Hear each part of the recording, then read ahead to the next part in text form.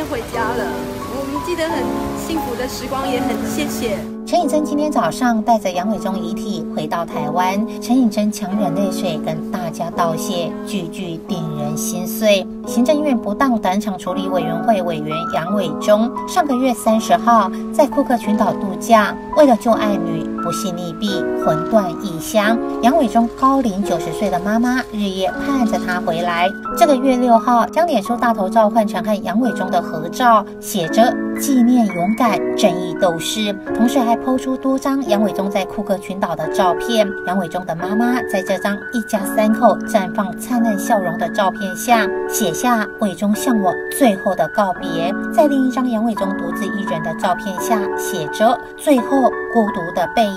如今终于盼到杨伟忠回来了，但白发人送黑发人的哀痛场景让人鼻酸。另外，杨伟忠的女儿抱着最爱的玩偶小浣熊，一路跟在妈妈身旁。杨伟忠十分。宠爱女儿，女儿在脸书发文，杨伟忠一定会去按赞。今年七月，他的女儿将大头照换成浣熊和金庸小说《天龙八部》时，杨伟忠还留言又看不懂，女儿还俏皮回说公然诽谤。还有一次，女儿抛出一张黑猫照，杨伟忠问在哪拍的。